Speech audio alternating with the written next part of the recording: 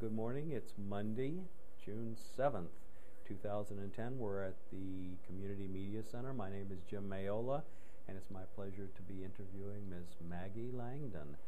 Hi, Maggie. Hi, how you doing? I am wonderful. How are you? Good. Good. Now, you've lived in Carroll County, I think you told me, since you were seven years old? Yeah, since 1954. 1954, you were seven. Okay. And tell me about moving into Carroll County. Where did you come from? We came from Catonsville. Okay. So this was a little different, wasn't it? Yes, and I don't think my mother was real happy. She was a city girl, and moving to the country, I think, was a shock for her. Now, was this country in 1954? Oh yes, absolutely. Well, tell me about your move here. Well, we they loaded the moving van the day before, and put the freezer on the tailgate. We had a, a chest freezer, and so they took it then to the garage overnight and plugged it in. hmm The next day, my mother and I are driving to Westminster, and we got to Reisterstown, where there's still a gas station, I think, at the intersection. I said to my mother, "That's our moving van, parked in the in the gas station." No, I said, "No, see the freezer on the tailgate." We stopped, and the the uh, driver who had the van that day was not the driver who had loaded it the day before, and he didn't have the directions. And so he figured he was heading off into the middle of nowhere and had no idea where he was going.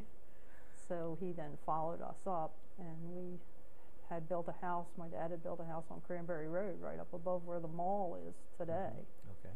And so we moved in there. And of course, at that point, there was nothing on Route 140. When you got to Westminster Center Street, didn't even come to 140 at that point. No kidding. And so, Now, 140, that's the 140 we know today, Right. which We- was actually the bypass for Main Street. known as the highway Okay. at that point. How interesting. And uh, so, as I was growing up, my elementary school years, there was no school bus that came up there, so my mother had to take me to school. And to get to East End Elementary, Mhm. which was where I went to elementary school, we had to come out of Cranberry Road onto 140, go up to Gorsuch Road, go in, and then come back around no kidding. to get to the school because you know, obviously if Center Street didn't go through, there was no way to get in. Well, so there's limited access then Mhm. to Route 140 at that time. Right. Very interesting. But that, I think it was that fall after we moved in, they finished 140, and the last thing that they finished was the bridge Mhm. over 27. And the day they dedicated that bridge, they had a big ribbon cutting, and I think the governor was there, and I don't know. The, one of the worst thunderstorms I have ever seen in my life.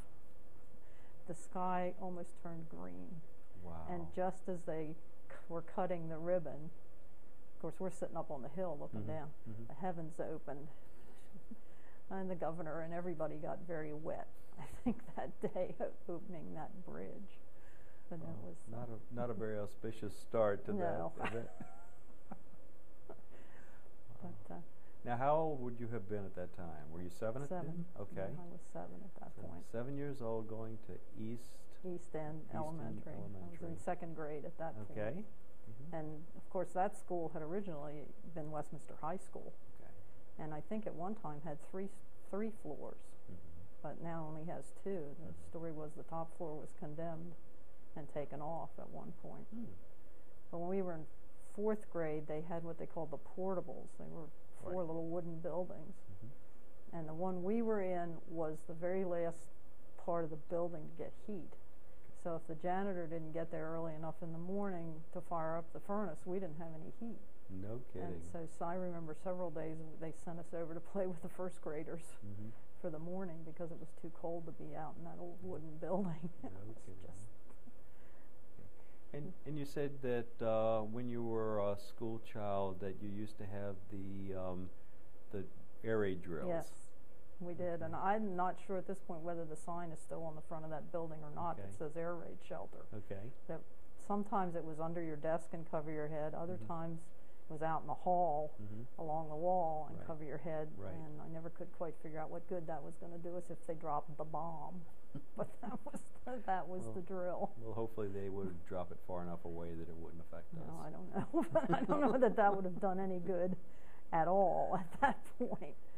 But you know that was the standard procedure back Mhm. then. So you went to elementary school in Westminster and middle school. Well, we through fourth grade at East End. Then we Mhm. went to fifth grade at what had been Westminster Elementary School, which is across from the county office building. Okay. There on Center Street. Mm-hmm. And then after our fifth grade year, they built Westminster Junior High School, Mm-hmm. brand new school, which is now West Middle. Okay. And so we were we were there for three years. Mm-hmm. And at that point, then I was able to start riding the bus. And of course, back then, all the schools opened at the same time. There were no staggered openings that there Mhm. are now. Right. So from first grade all the way through high school, we're, we're all on the same bus, and the Oh. buses went from one school to another and Mhm. dropped people off. Mm-hmm. And I happened to be on what they called the second bus, so we would sit around after school for a half hour, 45 minutes, waiting for the bus to come. Sure. Yeah. Now, did you go to Westminster High School? Went to Westminster High School, which is now East Middle School. East Middle School. Okay. So we uh, we were there for four years. Um, the one thing I remember particularly was graduation. Um, I played in the orchestra, Okay. and we were the last ones in the class to get our diplomas. And they they finished the class, and then they did the orchestra in alphabetical order, and I happened to be at the very end, and I got up there, and they were a diploma short. Oh no. I uh, I got no diploma. So have you ever graduated? Yes. Okay. In fact, what had happened, the, the, the last person in the class got, somehow they gave that person two. We had the Oh. folders. Okay. And so in the orchestra, the, the fellow ahead of me got my diploma. And I had told my parents before graduation, I said, you watch, I'll get up there and, and they won't have a diploma for me. And they said my mother about fell out of the bleachers laughing because it was, I was thinking, that's the longest walk I ever took Yeah. and came back with nothing. But it wasn't funny at the time. No, I thought it was hysterical. Oh. I laughed all the way back because there was no question I was getting a diploma. But I of just, course. um, Sam Jenness was the superintendent of schools at that time, and Steve Lerter was the, the principal at Westminster High School. And you never saw two more embarrassed gentlemen in your life. Well, it was just a mistake. yeah, I mean, Yeah. but I thought it was funny. Yeah. What was Westminster like when you were going to grade school and high school? Well, o- of course, at that point, all the shopping was downtown. There Mhm. was, again, there was nothing on 140. Westminster Shopping Center had not yet been built. That was the first shopping center to have been built. And Mhm. so I recall the co-op store, grocery store being where Locust Lane is now off the city parking lot. No kidding. Yeah. The Acme store was where Wheeler's car dealership is, and the A&P was across the street in the in that other building that Mhm. I think the county owns it now. Right, And, and okay. So that was the A&P store. No kidding. And that's yeah. where you, you know, went for groceries. And then, Mhm. of course, downtown you had Mathers and Kaufman Fisher, um, Reed's and Rexall uh, drugstores. Both had soda fountains Okay. at the time. Right. Um, G.C. Murphy's is where Johansson's is now. Mm-hmm. And uh, can remember, I was talking with my husband about this, and he says he remembers his mother to go shopping in Westminster would put on a dress and hat and Mhm. gloves Mm-hmm. just to go to the store. It was Mhm. never a thought of, you know, jeans and tennis shoes or Right. anything back then. You dressed up to You go dressed out. up to go out to Yeah. go shopping. Now, what were the shopping days? Did you guys go once a week to go buy groceries, or did you have a regular schedule, or how did it go? How did My it mother tended to shop when she needed things. As I say, she was a city, Mm-hmm. you know, city oriented, and so she just, if she needed something, she got in the car and went to the store. I've heard that downtown Westminster was very um, busy on Fridays and Saturdays. That's what, yeah. Of course, Yeah. all the country people would come into town Right. and park, and Mhm. people would walk up and down the street, and they'd do their weekly shopping. And it was, I guess, quite a big event at that point. Now, you mentioned several of the stores. I'm not sure everybody knows what they were. Uh, the you na- named them by name. Mathers was a department store, Okay. which is where Coffey Music is now. Okay. Kaufman Fisher was another department store. Um, G.C. Murphy's was a five and dime. Sure. Um, the Globe, which I, I think may still be in one of the shopping centers, was a men's clothing store. That was downtown. Mm-hmm. Stu's Music was downtown Oh. for years, Okay. and so it was. So that was the shopping area. Know, Very there Unless you wanted anything else, you had to go to the city, Mhm. and then you really got dressed up, Which was Baltimore. which was Baltimore. Mm-hmm. Interesting. One of the other things that I, I specifically remember about being in school, you know, the kids complain about dress codes today. Well, the girls back then were not allowed to wear slacks at all. Mm-hmm. the boys could not wear jeans, Right. and I don't think you were allowed to wear sneakers. Mm-hmm. Because again, my husband said he remembers wearing penny loafers on white socks Mhm. with his his trousers. Mm-hmm. So there was, you know, it was unheard of that girls should wear pants at all back Yeah. then. Now, um, when I was uh, coming up, because we're almost the same age, um, girls always had to wear skirts. But in the wintertime, when you got on the playground, they'd bring trousers to put under their skirts, and they'd run around in the playground with um, trousers under their Mhm. skirts. I don't know if you did that. I can girl. remember wearing shorts, Shorts, the- for yeah. the warm weather Right. to go outside in Yeah. elementary school. But yeah, that was Yeah, shorts were not allowed. no. No. Right, and you know, I don't know how my kids survived would have survived going to school without jeans. Well, these are different times. These are different times. So, um, you grew up in Westminster. What did your family do? My dad, um, actually, we moved up here. He went to work for B.F. Shriver, the Mhm. canning factory, Okay. And, do and you my remember? mother stayed home. Do you remember what he did at the canning factory? I think he ran the factory. Okay. And of course, then when I was uh, toward college, I spent my summers working at Shriver's. It was And- quite a summer job. And what did you do? Tell me about uh, Did some weighing in of, of the corn wagons. They'd bring wagons in and corn. Then I'd go over in the factory and ran a corn cutter. Mm-hmm. And we'd work 13-hour days, Wow. six days a week in season. Okay. Because of course, it had to be done. Sure. Uh, there was no waiting. Now you got um, produce from the local, farms here. Yeah, Shriver's Okay. had farms all over the county. Right.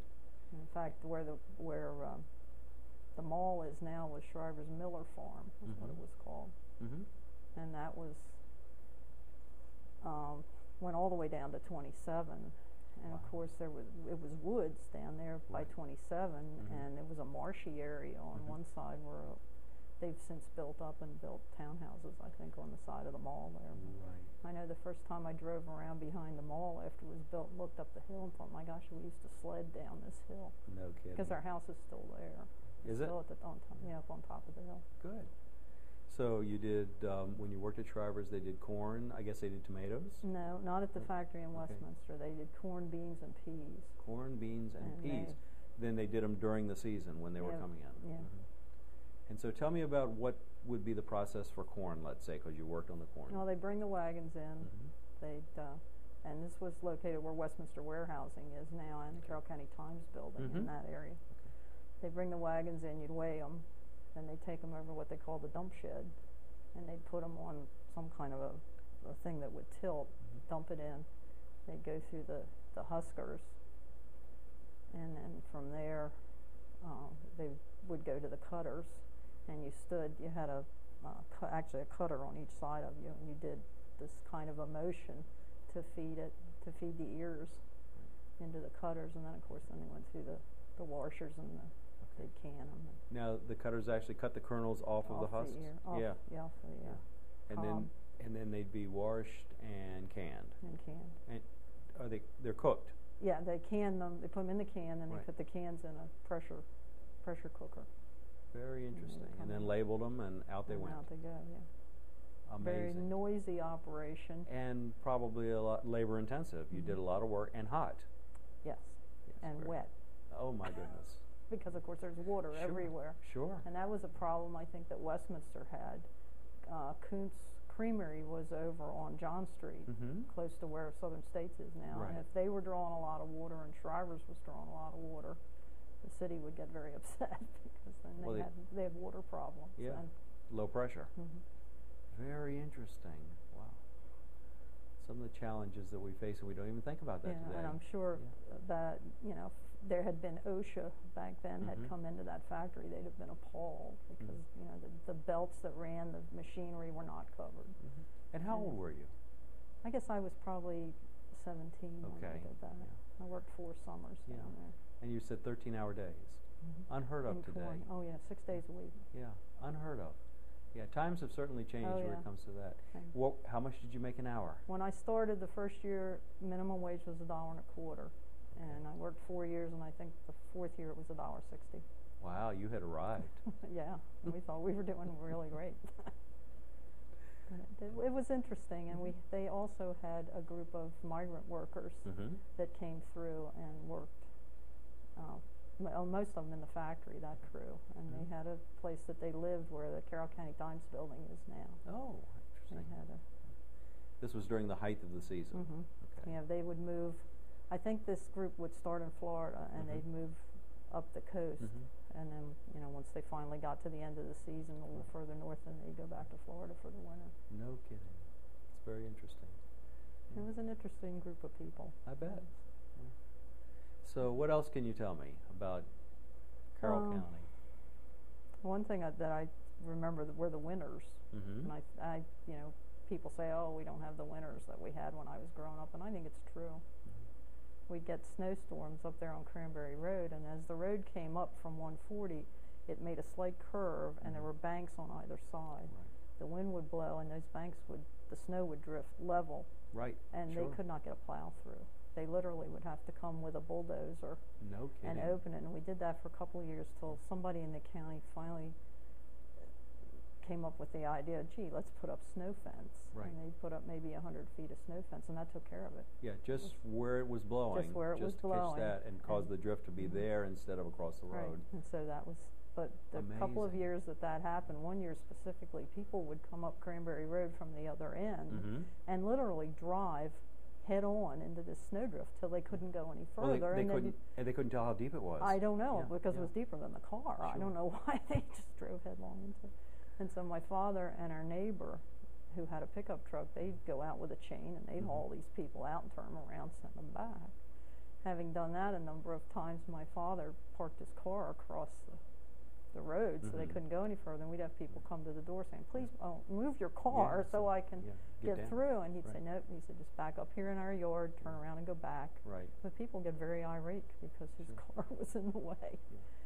But, uh, But they'd be more irate if they'd gone out and gotten stuck. yeah, right, Yeah. right. And your dad didn't need the aggravation of trying to pull him out. Not being the most patient person in the world, you got a little tired of that. I bet. And Westminster, and during a snow like that, would close Westmoreland Street for sledding. No kidding. Yeah, Wow. and so everybody in town would have a place to sled. Mm-hmm. And the other thing, the community pond would freeze, and the grapevine would get the word around, and we'd all go ice skate No kidding. on the com- on the community pond. yeah. and the community pond is where it is today. Mhm. Okay, so they haven't moved that. No, they haven't moved Okay, that. well, that's a good thing. Yeah. But uh, of course, you know, closing a street now for sledding, I'm sure would be unheard of Oh, absolutely. because yeah. of the. Now, did you miss many days of school because of uh, we, m- snow? we missed some, Mhm. although I think they're quicker today Mhm. to close than they were back Yeah. then. It feels like it. Uh, people are more worried about safety issues, well, I and I, you know, I guess maybe this is not politically correct, Yeah. but most of the bus drivers then were men. mm-hmm. Most of them today are women, Yeah. or a great majority of Yeah. them. But I drove a bus for a while when Mhm. I got out of college, and Mm-hmm. you know, the roads looked like they were bad. You put chains on the bus, and, Mhm. and off you went. But Yeah. and Not anymore. No, and the contractor I drove for, he said, if there's any place you feel uncomfortable, Mhm. he said, just don't, you know, just if it's down a hill or something Mhm. you're not comfortable, he said, just don't go. Right. But it didn't used to be like that. No. No, they just went. Well, that was, you know, now, Mhm. you know, they, they don't go to school. Well, you told about some of the things that you did in the winter time for entertainment. What did you do in the summertime for entertainment? I mostly stayed home. Mm-hmm. Um, we were just far enough out of town that it was too far to walk anywhere. And so, and one of the things my dad did when he built the house was put central air in, Mm-hmm. which was most unusual I bet. in the middle 50s Sure. to have an air conditioned house. So we were we were real happy. Yeah, I bet. Sitting there. So now you're living in a house on Cranberry Road, which Mhm. is up behind where the mall is Yes. now. And we think of that as part of Westminster now. I Right. mean, that's part of the city. But then the city was actually a mile away. Yeah. Yeah. Yeah. How it was, very It was interesting. just far enough Yeah. away that it was really too far to walk. Mm-hmm. Um, so I, So it was a big event to go to the city. Oh yeah. Yeah. yeah. Okay. Yeah. Um, let's see. I also uh, recall when they start, first started building the hospital. Mm-hmm. Of course, back then there was no hospital in Carroll County. This was in the 50s. If you needed something, you went to Baltimore, or Mhm. oc- I think occasionally to Hanover. Mm-hmm. But they, uh, I, I remember a cookie sale that they had to start raising money for the hospital, and it where the hospital obviously is now, there was just a little health department building. Mm-hmm.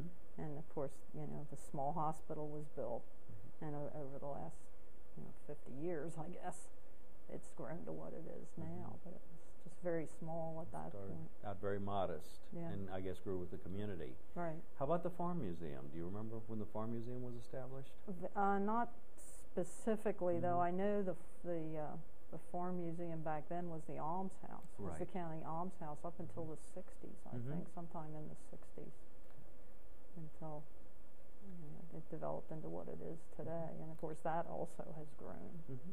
tremendously. Now, Maggie, you mentioned you played in the high school orchestra. What did you Mhm. play? I played violin Played violin. very badly. Violin's not an easy instrument to play. they, they didn't catch me young enough. I didn't start until I was in high school. Okay. But uh, they at that point they had all county orchestra. Mm-hmm. and they would take anybody who, who could pick up a stringed instrument was in county orchestra. So the first year I was in county orchestra, I was last chair, second violin. Okay. The second year I was in, I was a senior. I was second chair first because I was a senior. Oh. now you've um, you've continued with your musical career, have you not? yeah. Okay. Tell me a little bit about yeah. that. Went to Gettysburg College, majored in music in Mhm. organ, Mm-hmm. and uh, played as a I was a church musician on a regular basis for a number of years. Mhm. And, uh, stopped doing that regularly. I still do play Mhm. occasionally, and switched over to uh, started playing bass in a bluegrass band. Mm-hmm. What which a I what a for change! about 20 years. Yeah, just picked up the bass and started playing that, and, and now actually play with your group. Mhm. So you still play So, bass. so I still play bass. I also play hammered dulcimer and uh, piano and handbells and a number you- of things. You're a very eclectic musician. You play. That's a um, good word. It is. You play uh, church services still on a, uh, I would, not a regular basis, but routinely. Routinely, yeah. And um, you, you play a very fine piano, very fine organ, very fine keyboards. But um, you also played for a number of years doing bluegrass music, basically heritage music, the, Yeah. the music of, uh, you know, from, from the very beginnings of this country. And so have you ever done Common Ground on the Hill? Have you ever? I for a couple of years Mhm. I took classes there, which Mhm. is where I really uh, learned some more about the hammer dulcimer that I Yeah. play. That's not an easy instrument to play, is it? No, it's fun. It's Yeah. a fun instrument. It's Yeah. harder to tune than anything else. It sounds so pretty and it looks Yeah. so easy, but I would be lost on something like that. I can only play one note at a time. Yeah. But it's it's a fun instrument, Mhm. and and you know you can play a great variety of music on it, from Mhm. Celtic, Appalachian. I do some uh, church work with Mhm. it. So, I actually heard Walt Michaels one time doing some Michael Jackson. So you're right, you can play anything, on it. Anything, yeah. It's pretty amazing. So is there anything else you'd like to tell us today? Any other stories Um, about growing up in Carroll County? I I do recall when we moved to Carroll County, there was no such thing as a dial telephone. what did you use? You our phone number was three two five. Three two five. You picked up the receiver and you got Okay. the operator, and Okay. you told her the number that you wanted. Okay. And now we were not on a party line, but Mhm. I think that was fairly common Mhm. at the time too. And when we did finally get dial to uh, dial service, Westminster's exchange was Tilden eight. Tilden eight. Eight.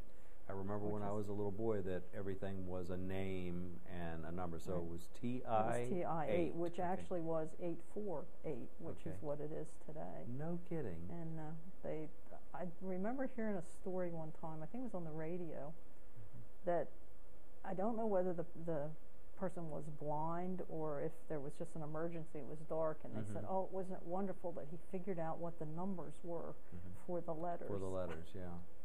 Wow.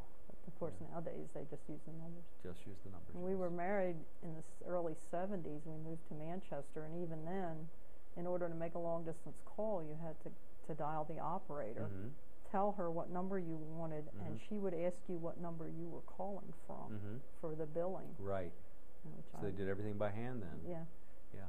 You actually had a phone number that was three digits. hmm Some Wow. of them I know were only two. Amazing. That tells you how few people had telephones then. Yeah. Yeah. How, um, what a, what a difference. Now everybody walks around with cell phones. Right, I, I don't know how we lived without I them. everybody has multiple numbers now. Yeah. How interesting. uh, So, anything else? mm, let me see Wh- Oh, I do, uh, another story that I remember when we went to get our driver's licenses at Mhm. sixteen. Mm-hmm. You went to the basement of the old armory, the building on Longwell Avenue. Okay. You went down there, took your, your written test, went out, parallel parked on the street there, and made four right turns around the parking lot. That was the driver's test. And that was the driver's That was test. the driver's test. Now, was that the state police barracks then? I think it was city police. City police, and that's where you get your driver's license. Because that's now a, a um, this the family center Family is center, there, the yeah, gym, yeah. where the gym is, yeah. But that was in the basement. How interesting. And if you, if you went during school, that was an excused absence. If Okay. you, because I went, got mine in the morning Right. and went back to school. right. And you passed the first time. Yes. Good for you.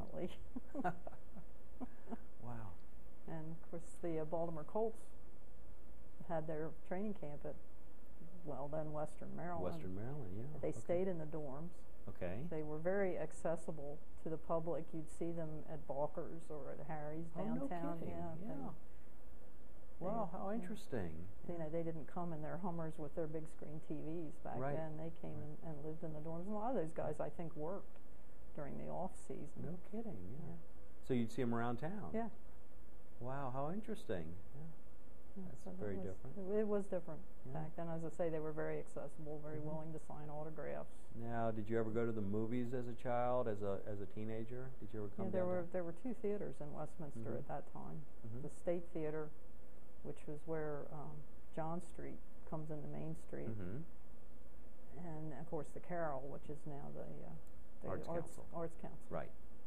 There was a, a gentleman in Westminster whom I'm sure a lot of people remember. His name was Tom Dixon. Mm-hmm. He was um, the custodian at Grace Lutheran Church when I was uh, the assistant organist there, and I'd be practicing, and he would come in and he'd say, "Well, you know, Virgil Fox used to practice at the State Theater." Virgil Fox was a very well-known uh, concert organist Mhm. at that point, and he Mhm. said, "I remember him practicing at the State Theater." Now, what was his association with the State Theater then? I, he th- I think he was from this area, Yeah. and that was just where he was Okay. able to go yeah. to But practice. Tom Dixon wasn't he the? he may have been the custodian Yeah, there the- as well. at the I'm theater, yes. sure. Yeah, Yeah, I think he was the projectionist. yeah. Yeah. Very uh, interesting. Hearing stories about Virgil Fox. In Westminster to me as an organist was Yeah. was quite interesting. Very interesting. Now, I understand there used to be a drive-in movie theater in Westminster. Did you know anything about that? Yeah, it was the Ridge Okay. Drive-In uh, near where Westminster High School is Okay. now. Yeah. Right in that in that general area, and I think one of the the boys that was in our class in high school, I think his father ran it Mm-hmm. for years. Mhm. His, name- his name was uh, Heil, I think. Okay. But yeah, that was Very interesting. that was one of the local Hangouts. hangouts. Yeah. And sure. of course, the treat shop was across from the Carroll Theater Okay. at that time, and so that's where you went and got all your candy and everything. Is that where Ernie's is now? Mm-hmm. Okay. Used to be the treat shop. Used to be the treat shop. I for guess some years. people still think of it as the treat shop, I even though guess it's so, I guess yeah. so. okay. How interesting. It was, yeah. yeah, it was it was very different. Yeah. Of course, as I say, Center Street didn't go through. Mm-hmm. Then I think when they they finally did put it through, they built Westminster Motors, mm-hmm. which is now in Stola. Mm-hmm. And on the excuse me, the lot next to that, along 140, they used to that's where they used to have the circuses. They'd set up and have, so, and I remember at least one or two horse shows that they Mhm. had there as well. So that was like the Ag Center is now, Yeah, it Now just happened to be in yeah. a big empty Right. lot, and that's where the right in town. well, right on 140 Yeah. there on the Wow. highway. Yeah. How interesting. Well, what if if you had to say one thing that's been the biggest change since 1954, when you were seven years old and you saw Westminster for the first time? What would you say is the biggest change, the biggest transformation that you've seen? I think it's gone from being a small, basically a small town, to being more of a, a metropolis, Mhm. more of a city. You know, I look around and go, where did all these people come from? Mm-hmm. Because there was not a traffic light on 140 from Reisterstown all the way up here. And I was sitting this morning trying to figure out how many they are. There are, and I think I got to 15. There, no traffic lights at all. Mm-mm. You just went through. You just came right on through because there was nothing there. Yeah. I mean, there was th- there was nothing. You were driving through the country at that point. Wow. but intersections, Some, Yeah, yeah. right, But I mean, Cranberry Road Yeah. went on to, on one forty, but Right. there was so little traffic that that it didn't matter. it didn't matter. Yeah, people just waited. Yeah. Yeah. There's a stop sign and, you know. Yeah. Of course, Westminster was great for not having a square intersection at Main Mhm. Street Mm-hmm. because John Street and Bond Street Right. didn't match. Um, Okay. Railroad Avenue and Liberty Street didn't match. Okay. And of course, Washington Road and Old Manchester Road still don't. Right. And so they've squared up a couple of them, you know, Mhm. taken buildings down. Lincoln Road came from Green Street one way to Main Street. The alley that came up from um, the playground, Mm-hmm. which came to Main Street, they were both one way in opposite directions. So they these two one-way streets met head on On Main on Street. Main Street. Very which interesting. I thought was you know only in Westminster would two one-way streets run head on into each other. Yeah. Interesting city planning. Yeah, Yeah. I, it almost Yeah. seems like they built half the city and the other half, but they Right. didn't line them up. Right. Like the west part was done by one person and the east part was Yeah. done by another person and, they just didn't quite they jive. didn't quite jive. Yeah. yeah. Very interesting. But we've worked out a lot of those kinks over Some of time. them, yeah, Yeah. Has it been a nice place to grow up? I think so. Yeah. Yeah, I'm, I'm still here. Yeah. So. So it's a nice place to live and a nice place to grow up. yeah. Yeah. I, I did have a friend in high school who said when he went to college, if he came back to Westminster from college and there was a McDonald's, he was not going to stay, Mhm. and there was, and he didn't. He moved to Colorado. Because they don't have McDonald's in Colorado. Well, I think they do now, Yeah, but I I'm not they sure do. they did in Grand Junction, Colorado at that point. But that was Uh, you'd have to go a long ways to get away from McDonald's because they're everywhere now. yeah, all over the world. Well, Maggie, it was really a pleasure speaking to you today. You told us some great stories, Oh, very interesting. Um, Carroll County has certainly changed. has. Westminster has really changed in the last Mm. 40 or 50 years. Um, I imagine it's going to be very different in 40 more years. But um, I'm we probably won't be around to see it, but we can leave this message for those who are. So thank you again for taking the time to come here today and share your story with us. Well, thanks for having me.